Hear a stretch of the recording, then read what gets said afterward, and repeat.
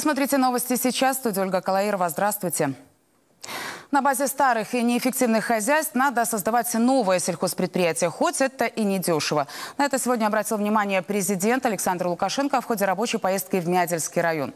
Глава государства продолжает серию посещений региона, во время которых в центре внимания вопрос уборочной кампании и развития сельскохозяйственной сферы в целом.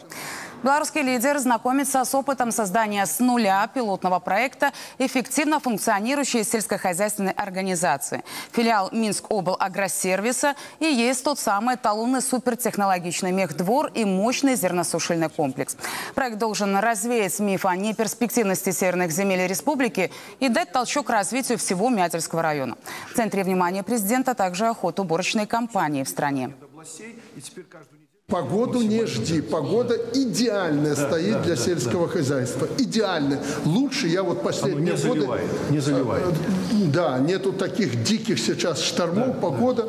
Да. Э, тем более позже посеяли, я да, смотрю. Да. Ну да, для юга была проблема. Но юг уже к половине, кто хотел, тот подобраться. Там проблем нет. Они выхватили основное, как в народе говорят.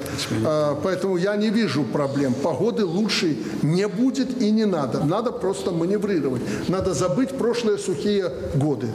Все, это нормальный год. У нас вон кукуруза какая стоит, у нас картофель а, отличный, у нас яровые культуры более-менее.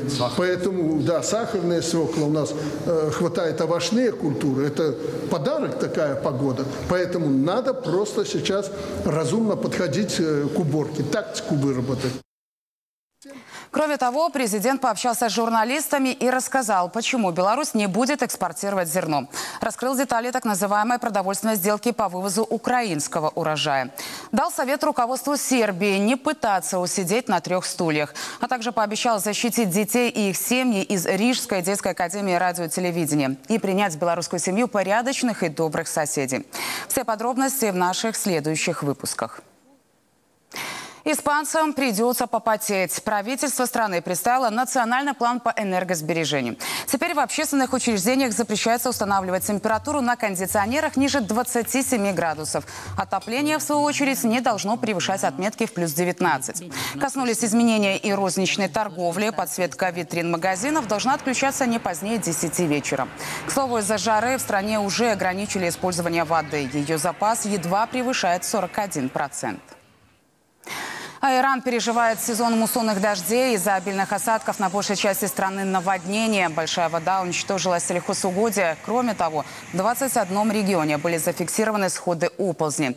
В результате стихийного бедствия погибли 53 человека и сотни животных. Забег в голубых тельняшках устроили в Бресте. Так бывшие военнослужащие решили отметить День десантника и сил специальных операций. Длина символичного марш-броска 8 километров. Участники пробежали по центральным улицам города и финишировали в 38-й отдельной десантно-штурмовой бригаде. Там для всех желающих устроили яркое военизированное шоу. Его открыли парашютисты. На счету некоторых уже более 6 тысяч прыжков. Прямо в небе развернули национальный флаг. А после зрители увидели опасное разные трюки на мотоциклах, спуск с кузова грузовика и гонки на одном колесе. Также солдаты продемонстрировали выполнение огневых задач при встрече с противником. 38-я отдельная гвардейская мобильная бригада – одна из элитных частей сил специальных операций Беларуси. Именно здесь родилась новая традиция белорусских десантников. Специальное испытание на почетное звание «Черный орел». В армейском спецназе это такой же престижный символ, как, например, краповый берет.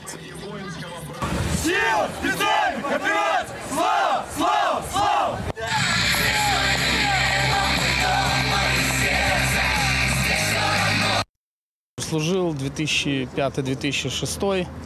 Ну, воспоминания только хорошие. Я считаю, что служить надо. Службу должен пройти каждый. Парень, это же будущий мужчина, будущий защитник. Первый защитник и самого себя, и Родины хотим сказать, что да, страна может спать спокойно. И, наверное, вот это чистое мирное меда мы гарантируем стране. На сегодняшний день мы в состоянии обеспечить вот эту стабильность, развитие и движение вперед. Но всем, конечно, мира. Завершили праздник вальсом техники, во время которого показали виртуозное вождение на минимальном расстоянии. Больше информации у моих коллег в 15 часов. Я на этом с вами прощаюсь до завтра. Всего доброго.